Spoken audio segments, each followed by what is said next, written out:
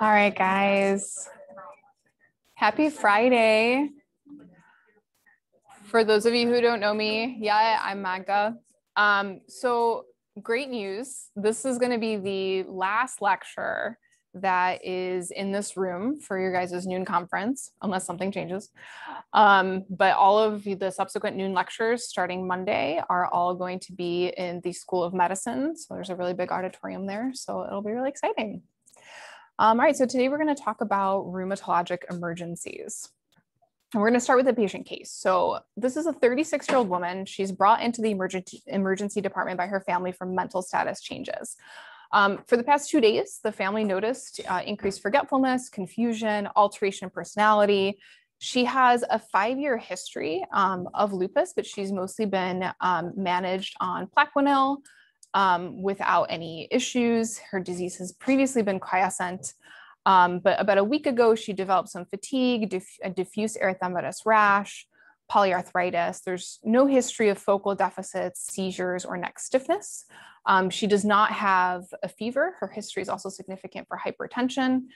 Medications are losartan, hydroxychloroquine, prednisone 5 milligrams daily, daily multivitamin, and physical exam. She's awake and alert, follows commands, but is not oriented to time and place. Um, vital signs are normal, neural exam is normal, other than the mental status changes. She has no motor or sensory deficits, and the remainder of your exam is otherwise normal. Anything that anyone is suspicious for in this point in time.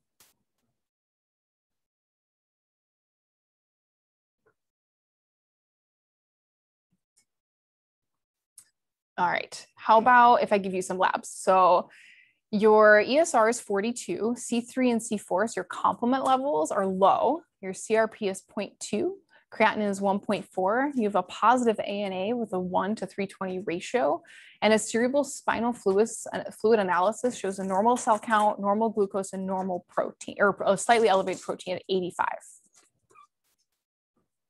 How about now? Any guesses? I can give you some options. Oh, a little bit more. Hershey has a CT scan of her brain that's normal. Um, an MR, an MRI and an MR angiogram of the brain that has multiple punctate white matter changes in the periventricular areas. There's no evidence of vasculitis or blood vessel narrowing. So which one of the following do you think is most, most likely? An acute bacterial meningitis, neuropsychiatric systemic lupus erythematous, um, status epilepticus, or a steroid-induced psychosis? Who, who votes for A? B? Okay. C? What about D? Oh. B is correct. Um, so this is something that can happen um, in up to 75% of patients who have lupus.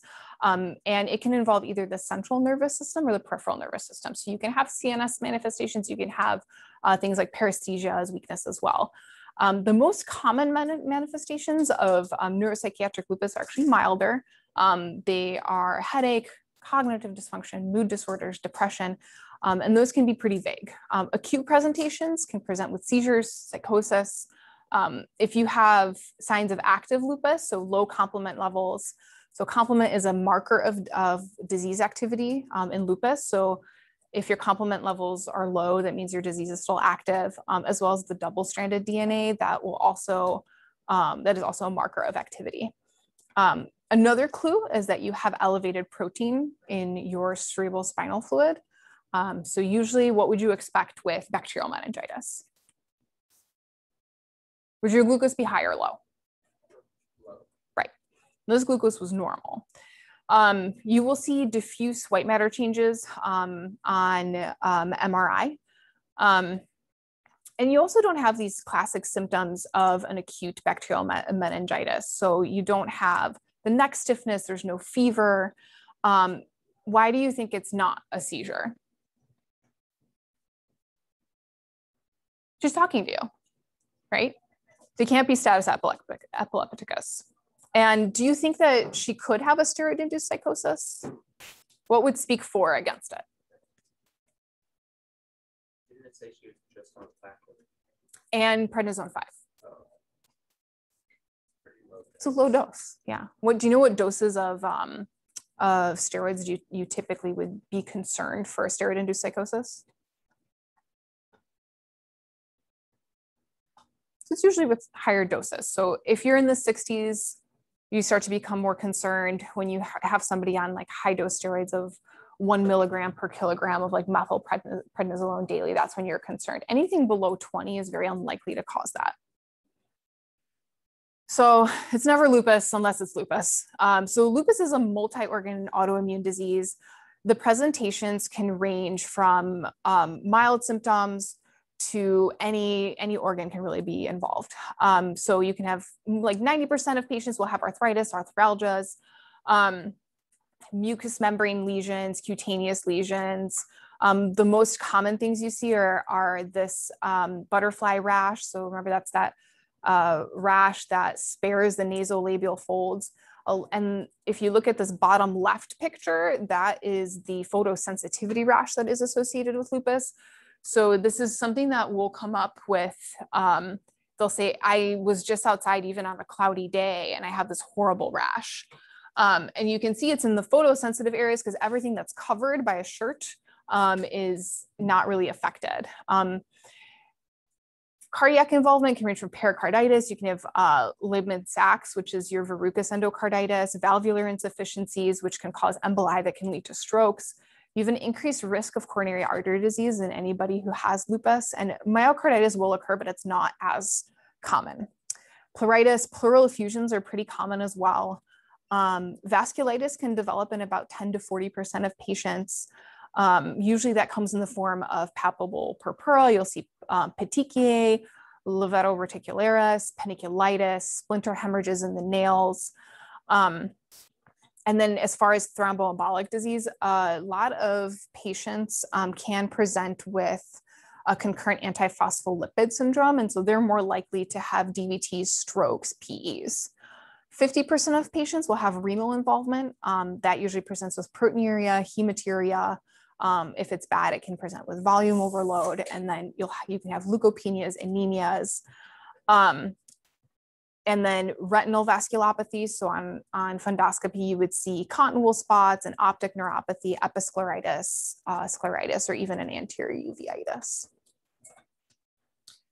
The pathogenesis is actually unknown. It might be due to cerebral vascular endothelial dysfunction um, because of the inflammatory state and the increase in cytokines, you have immune complex, complex formation and microvasculopathy that disrupts the blood brain barrier. And this is what allows all of um, the cells, autoantibodies, and cytokines to migrate into that area where they pre- uh, otherwise would not be found. Um, a lot of these patients have the antiphospholipid antibodies, and so that can lead to um, emboli, which um, can cause stroke symptoms and strokes. Um, a lot of these earlier presentations of the neuropsychiatric manifestations are difficult to diagnose because they're very vague. They come in fatigue, um, some mild mental status changes, fogginess, forgetfulness. So they're less severe, but should clue you in that this may be going on. Um, another more severe ma manifestation is myelitis. Um, it's rare, but it has a very high mortality. Um, and it can present as an acute um, or subacute uh, paraplegia or quadriplegia, quadriparesis. Um, they're usually bilateral, but they're not always symmetric findings. So just be aware of that. Um, you can have sensory impairments um, localized to the level um, of the spine that's being affected.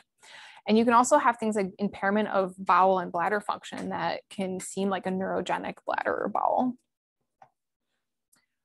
Um, so labs that you want to get, you want to get your basic labs plus liver function tests, ammonia, because you want to rule out any other causes that could be contributing to this mental status, uh, UA, TSH, toxicology, blood cultures, and then uh, your cerebral spinal fluid studies, an ANA, complement levels, and a double-stranded DNA. Um, start with a CT head, follow up an MRI if it's warranted. This is an example of what an MRI um, in a patient with uh, uh, another term that is used this is lupus cerebritis. Um, so these are the white matter changes on the paraventricular changes you can also see. Um, to treat this, you treat the lupus. You can use pulse-steroid steroids, immunosuppressive therapy. If their psychosis is particularly severe, um, antipsychotics. All right, let's move on to our next patient case. You have a 25 year old woman who's hospitalized with a four week history of swelling in her legs, weight gain, shortness of breath um, on exertion. On physical exam, her blood pressure is 142 over 96. The rest of her vital signs are normal. There's pitting edema in her lower extre extremities um, that extends to her knees. Your ESR is 68, uh, hematocrit is 38%, uh, complements are low again, creatinine is one, Anti-Smith antibodies are positive, anti-double-stranded DNA antibodies are positive. Um, UUA shows three plus protein, no red blood cells, no leukocytes, no CAS. And then a 24 hour urine protein is 6,000 milligrams in 24 hours. So what additional study do you think would help you in the diagnosis of what's going on? Renal biopsy. Renal biopsy, good job. Um, so biopsy helps rule out microthrombotic diseases associated with antiphospholipid syndrome. These can mimic a glomerulonephritis, um, and they can help you distinguish um, if these symptoms are also from an vasculitis, which can also cause massive proteinuria. Um, and then even though the serology suggests that you have lupus, uh, you need to, or uh, lupus nephritis, you would confirm um, with a biopsy the biopsy also helps you prognosticate um, hmm. where their course is going to go. So it'll tell you what the class is and if they're, you can pr prognosticate if they're more likely to develop um, end stage renal disease. So does anyone know the indications for getting a lupus or um, a renal biopsy if you see this kind of presentation? So if anybody shows up with increasing serum creatinine um, without an alternative diagnosis or alternative cause to explain this diagnosis, and it's specifically in patients with lupus. If you've confirmed proteinuria more than one gram in 24 hours, um, if you have proteinuria more than half a gram a day in addition to um, hematuria or cellular casts. So lupus nephritis is something um, that's unique to lupus patients. And like we said, lupus is a multi-system disease. So this is what happens when it affects the kidneys. It's the pathogenesis is thought to be from immune complex deposition in the kidneys, complement activation that causes endothelial damage, and that endothelial damage leads to inflammation in the kidney. Um, usually you pick can pick this up on screening. So if you have a lupus patient you're following as an outpatient, you screen them um, probably every six months to a year um, looking at a UA um, and labs and looking for protein, um, a rise in creatinine, any changes in their GFR. Once they progress, they can present with nephrotic syndrome, hypertension, volume overload, shortness of breath, like this patient. They can have rapidly progressive glomerulonephritis, loss of renal function. Um, and these, these uh, patients can also, if they start developing sediment or cast or proteinuria, hematuria, that starts to become concerning um, a lot of these patients will progress um, to dialysis. And if you um, um, progress to dialysis, that's more common in people who are um, African American, especially African American males, Hispanic patients, patients of a lower socioeconomic status, poor medication compliance, patients who already have hypertension and diabetes. Um, and if you're failing to normalize your serum creatinine or you have a persistent serum creatinine um, greater than two, then you're more likely to um, progress to end stage renal disease. Um, and so renal biopsy really helps kind of nail down this diagnosis and figure out how to treat it. So back to our case. So it turns out this patient was recently diagnosed with lupus one year ago. She's been on Plaquenil with good response. Um, the renal biopsy comes back with a class five membranous lupus nephritis absent chronicity and mild activity. So how do you treat this? Did you use A, adalimumab, belimumab, cyclophosphamide, methotrexate, or mycophenolate mofetil? C, cyclophosphamide. C, cyclophosphamide. Any other guesses? Methotrexate, okay. Mycophenolate. Good job. so a wide variety of answers. So mycophenolate is the most appropriate treatment. Um, and this is based off of the biopsy findings. So it's a class uh, five membranous lupus nephritis. So she's going to need more aggressive therapy um, because she's having, she's 25. So this is a pretty rapid deterioration of her kidney function given she was just diagnosed a year ago. Um, the treatments of choice, oh, sorry, um, are mycophenolate, cyclophosphamide, and azathioprine. The reason that mycophenolate is your top choice is because it has a, a lower side effect profile than uh, cyclophosphamide. If you fail that, then you would move on to cyclophosphamide or um, azathioprine. Um, adalimumab is not effective in lupus nephritis. It actually can make it worse. Belimumab is not well studied in lupus treatment or lupus nephritis treatment. Um, it usually is started after they've failed a lot of other therapies, um, but there's not a lot of literature to support it. Support it. Um, and then cyclophosphamide is your second choice just because it uh, does have more side effects. Usually you use it if you really want to induce uh, remission. Methotrexate is not effective um, and it can actually have worsening like methotrexate toxicity because of the renal dysfunction. So these are all your classes um, of lupus glomerular nephritis. Um, so these classes um, are from the International Society of Nephrology and Renal Pathology Society. Um, depending on how severe, so these are classes that are basically based off of the biopsy that um, you've done. Um, if it's cl class one, so minimal mesangial, you really don't have very many clinical manifestations. Once you get to class two, you can have microscopic hematuria, proteinuria. Rarely you could have hypertension. Three is focal. Um, that's when you start developing your hematuria, proteinuria, may or may not have hypertension, but you see decrease in your GFR, and that's when you start to see nephrotic syndrome. Class four is diffuse. Um, this is when you definitely have hematuria, proteinuria. You're frequently already developing a nephrotic syndrome. You'll see casts on urine, um, decreased GFR, hypertension is very common. Um, hypocomplementemia and elevated double-stranded DNA is also seen in this, these patients. Remember, those are your signs of active lupus. Once you get to five membranous, you have extensive proteinuria, minimal hematuria, um, and you have renal function abnormalities. And then six, advanced sclerosing. So that's when you have chronic kidney disease. So those kidneys have already fibrosed. So treatment, another reason that it is important to get these biopsies is because it really dictates your treatment. So if you have a class three or four, um, you start with pulse dose IV steroids for three days, followed by an oral steroid taper while treating them with uh, mycophenolate for six months.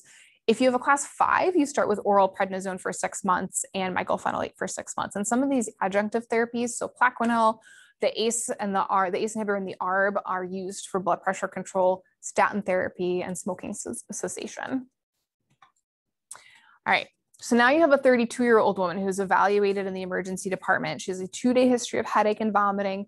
She was diagnosed with Raynaud phenomenon one year ago, GERD six months ago. Her only medication is omeprazole.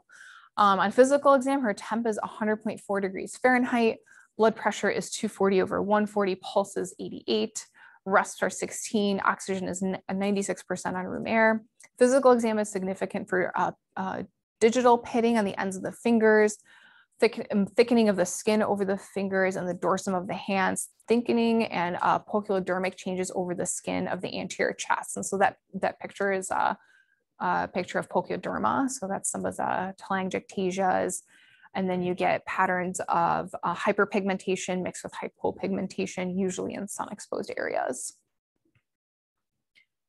Hematocrit is 32%, your uh, platelet count is 75, creatinine is 1.5, your UA shows 2 plus protein but no blood, and a peripheral blood smear shows diminished platelet numbers and schistocytes.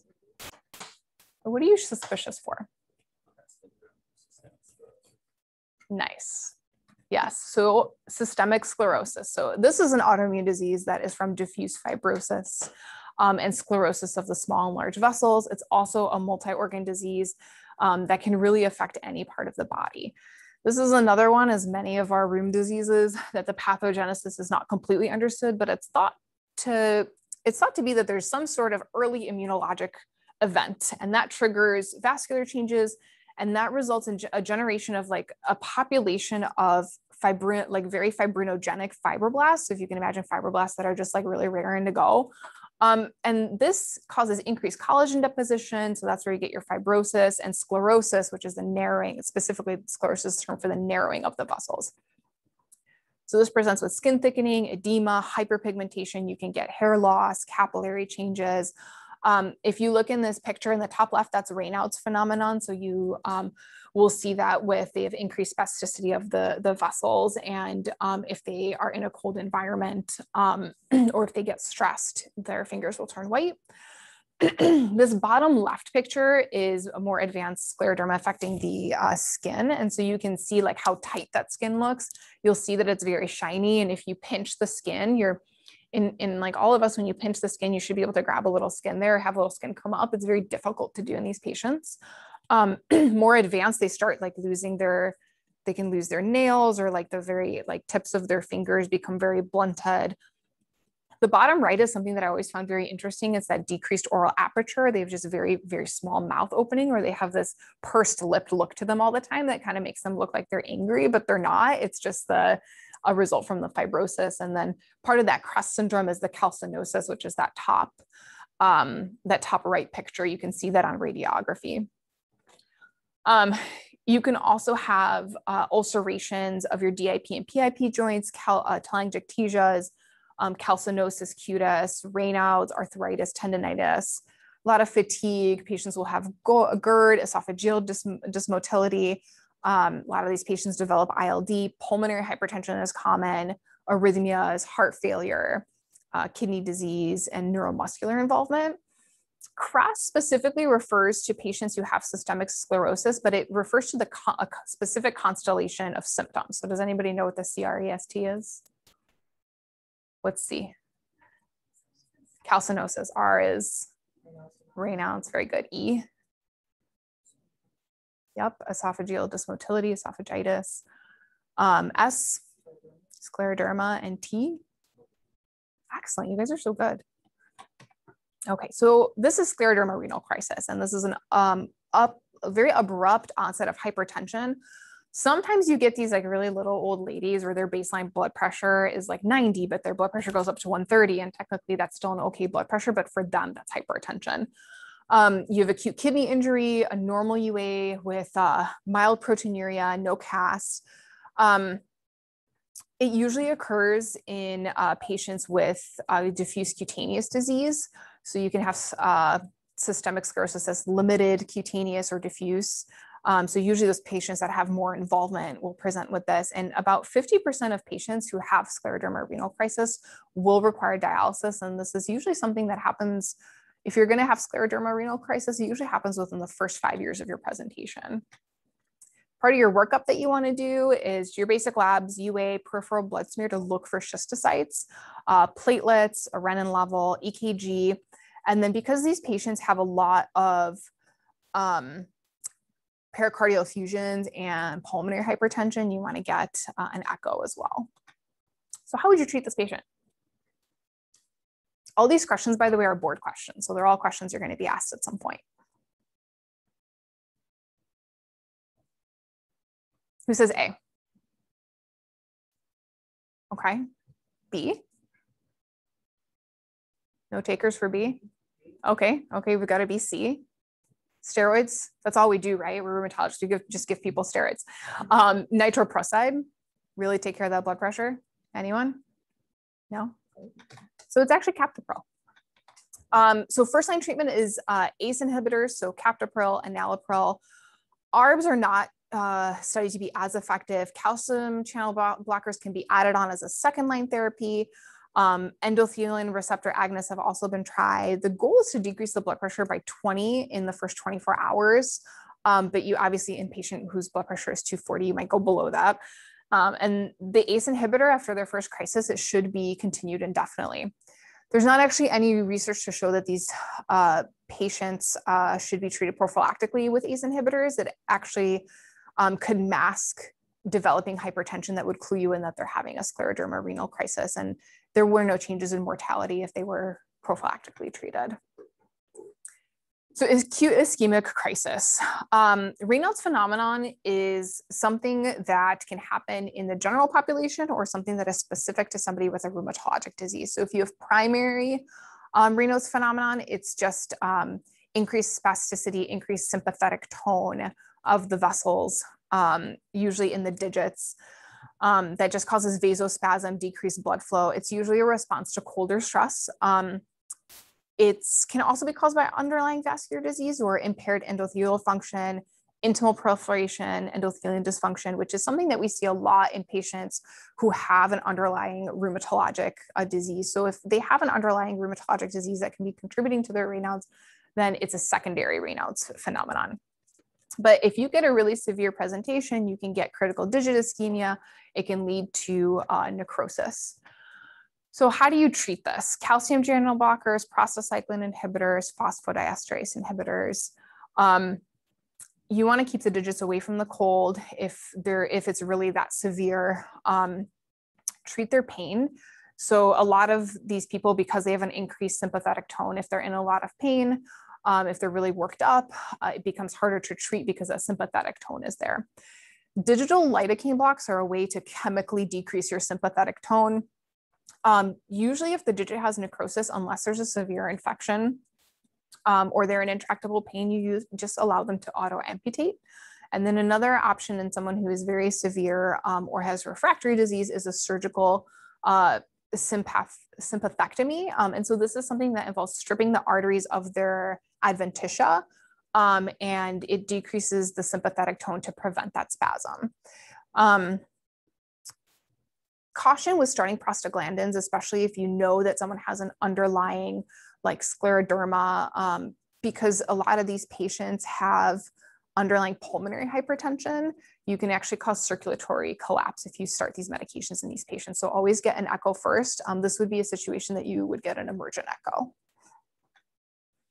All right, so you now you have a 75 year old man who has a two month history of progressive malaise, weakness, aching bilateral shoulder pain, pain in the hips, two hours of morning stiffness, prolonged stiffness after immobility. Um, he recently noticed aching in his jaw when chewing. Uh, now he has left sided headaches, and now he's in the ED because he has vision changes in his left eye. Physical exam is significant for normal vital signs, tenderness and swelling over his left temple, uh, painful and limited range of motion in both hips and shoulders. Um, and, but the remainder of the exam is otherwise unremarkable, and you have an ESR that's 85. So what is the next step? Do you want to get CT his head? What about low dose aspirin? Oral prednisone? I see some head nods, but no hand raises. You got to commit. what about IV methylprednisolone? Okay, more hands there. Temporal artery biopsy? No one. Good. You would start IV methylprednisolone with starting that, are you concerned that you're going to mess up a biopsy? No. What's your window? So what do you think this is? Yeah, GCA. So in GCA, if you want to get a biopsy, as long as you're within the first 14 days of steroids, you can they'll still show up on biopsy. So never delay the steroids. Um, if you have somebody who has changes in their vision, acute vision loss, any sort of threat to their vision, do not delay steroids because that vision loss could be permanent. You does anyone know the dose of methylprednisolone that you start with?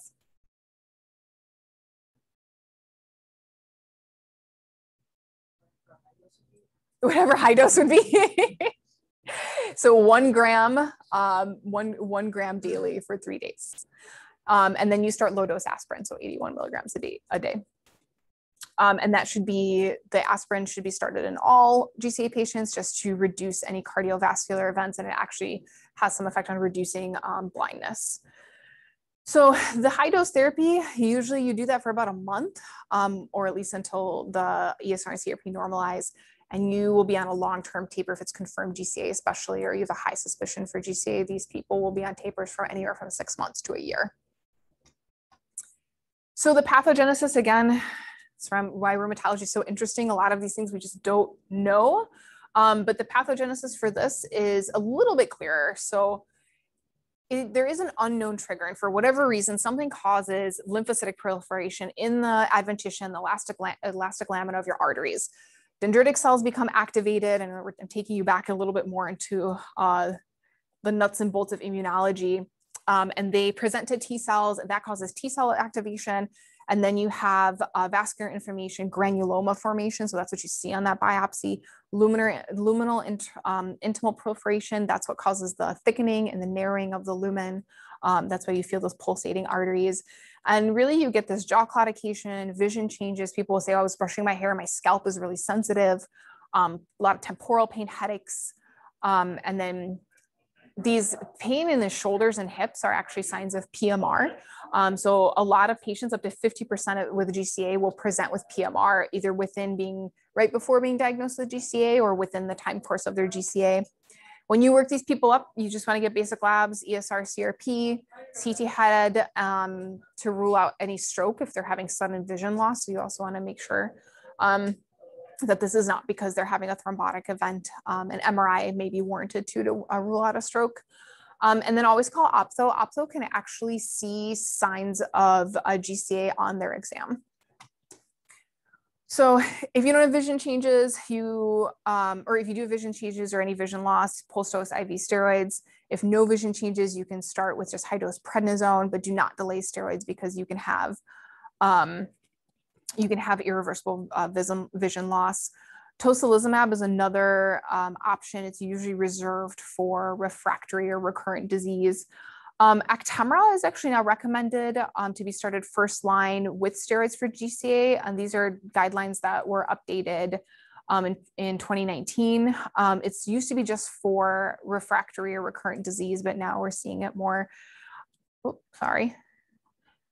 Um, but um, also sometimes methotrexate is used, especially if insurance won't uh, improve the um, Actemra if there is a contra uh, contraindication to that. Um, so this is something that's going to show up on your on your boards a lot. So catastrophic antiphospholipid syndrome is not something that I've seen personally, but I think would be very scary to see. Um, so it's a severe form of antiphospholipid syndrome where a patient will have just mass thrombosis of multiple small vessels um, and multi-organ failure. Usually they come in with cardiopulmonary symptoms, um, acute respiratory distress just from um, alveolar hemorrhage, CNS pathology, abdominal pain, renal failure. Um, they have a lot of cutaneous symptoms. So you'll see like necrosis, um, thrombocytopenia, and hem um, hemolytic anemia. infarction of the skin, abnormal neural exams that can kind of mimic a stroke um, digital ischemia, gangrene, lots of DVTs, and some will present with heart murmurs as well. Um, when you see this, you do want to keep DIC, HIT, um, and other microangiopathies like TMA on your differential. So when you see these patients, and this right picture um, is a picture of a livedo reticularis, which is um, also very common, and you can see some of those skin ulcerations. Um, so you want to get your basic labs, peripheral blood smear, coags, fibrinogen level, um, liver function tests, a Coombs test, anti-beta um, beta 2 uh, glycoprotein, anti-cardiolipin, and lupus anticoagulant. Um, if you're having neurosymptoms, CT, MRI is appropriate to, um, to evaluate those patients with neurosymptoms. One thing that will clue you in that this is actually CAPS is uh, fibrinogen is usually normal in CAPS patients as opposed to DIC. Uh, the absence of schistocytes helps you to differentiate from HELLP, TTPS, and HUS. Um, so always get a peripheral blood smear because that can actually help you decide what is actually going on. Um, you treat this with unfractionated heparin it's first line um, high dose IV methylprednisolone followed by uh, prednisone taper uh, as well. Um, plasmapheresis is second line, and usually you do plasmapheresis followed by IVIG, and then third line would be cyclophosphamide um, and rituximab, which is more effective in patients who have lupus. Um, just just the way that these people present they're very they get very sick very fast. Um, a lot of times they are uh, in the icu it has a pretty high mortality. So if you have somebody who has a rheumatologic condition who you're suspicious could have an antiphospholipid uh, syndrome that is something that a lot of times even if they don't have a formal diagnosis this is going to come up if you do a very good history. All right so do you have any questions about anything the last thing that I want to say is just a word on steroids. I think that a lot of times uh, people just think, you know, oh, rheumatology, we're just going to throw steroids at everybody. Um, we do consider very seriously whether or not to give somebody steroids, especially when you have patients that are on long-term steroids, like your GCA patients. There's a lot of complications with steroids. Um, skin thinning, predisposed to infections. Um, these are patients that are, if, if you're on long-term steroids, you need to be started on uh, prophylactic medication for things like PJP. Um, just because of how, how much immune suppression you can get. You have pe peptic ulcers. Um, so if you're starting somebody on steroids, make sure that you are starting them on a PPI um, as well.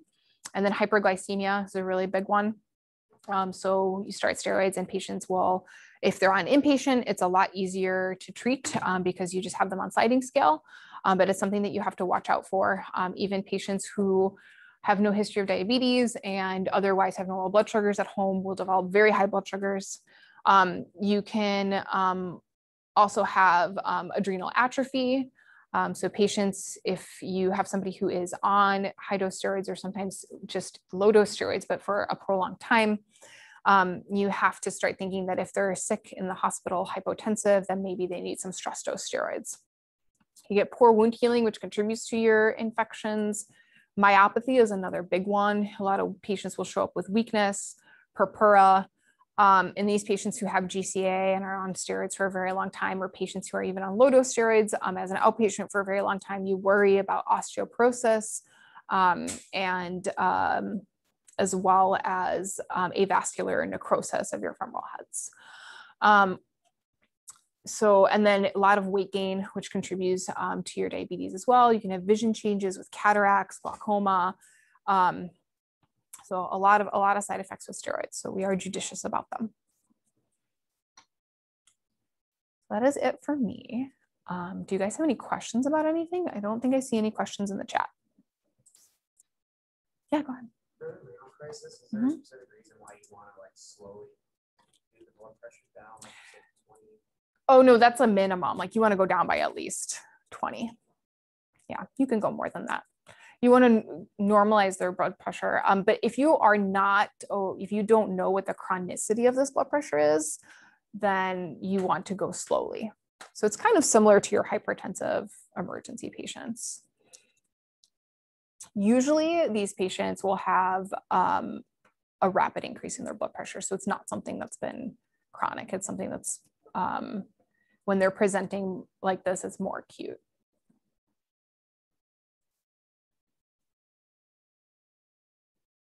Any other questions? All right. Thank you guys so much. Happy Friday.